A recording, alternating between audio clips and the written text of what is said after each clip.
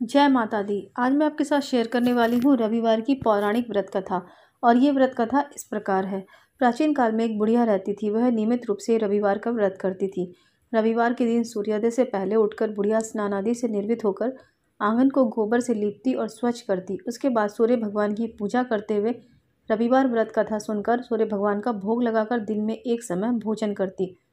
सूर्य भगवान की अनुकंपा से बुढ़िया को किसी प्रकार की चिंता एवं कष्ट नहीं था। धीरे धीरे उसका घर धन धन से भर रहा था। उस बुढ़िया को सुखी होते देख उसकी पड़ोसन उससे जलने लगी। बुढ़िया की कोई गाय नहीं पाल रखी थी। अतः वह अपनी पड़ोसन के आँगन से बंधी गाय का गोबर लाती थी।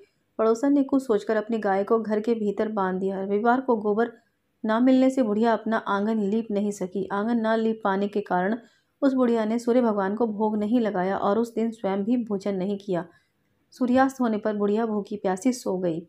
प्रातःकाल सूर्योदय से पूर्व उस बुढ़िया की आँख खुली तो वह अपने घर के आँगन में एक सुंदर गाय और बछड़े को देखकर हैरान हो गई। गाय को आँगन में बांधकर उसने जल्दी से उसे चारा खिलाया। पड़ोसन ने उस बुढ़िया के आँगन में बंधी सुंदर गाय और बछड़े को देखा तो वह उससे और अधिक जलने लगी।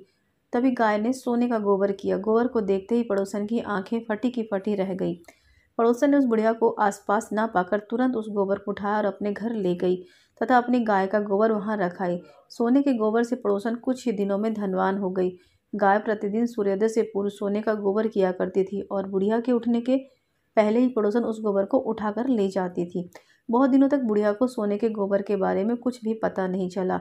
बुढ़िया पहले की तरह हर रविवार को भगवान सूर्योदय, सूर्यदेव की व्रत करती और कथा सुनती रही, लेकिन सूर्य भगवान को जब पड़ोसन की चालाकी का पता लगा तो उन्होंने तेज आंधी चलाई।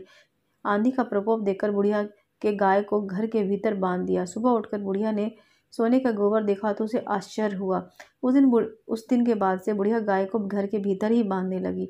सोने के गोबर से बुढ़िया कुछ ही दिनों में धनवान हो गई। उस बुढ़िया के धनी होने से पड़ोसन बुरी तरह जल भूनकर राख हो गई और उसने अपने पति को समझा बुझाकर उसे नगर के राजा के पास भेज दिया। सुंदर गाय को देखकर राजा बहुत खुश हुआ। सुबह सुबह जब राजा ने सोने का गाय का गोबर देखा तो उसे आश्चर्य का ठिकाना ना रहा। राजा ने बुढ़िया से गाय और बछड़ा छीन लिया, जिससे बुढ़िया की स्थिति फिर से दयनीय हो गई।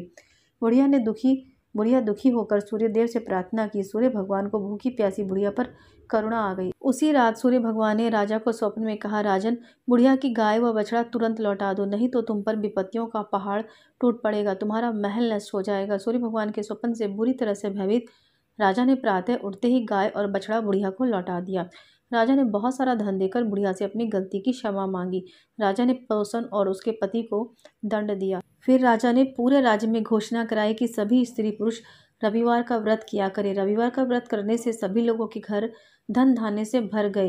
राज्य में चारों खुशहाली छा गई। स्त्री पुरुष सुखी जीवन यापन करने लगे और इस प्रकार रविवार व्रत की पौराणिक कथा समाप्त हुई।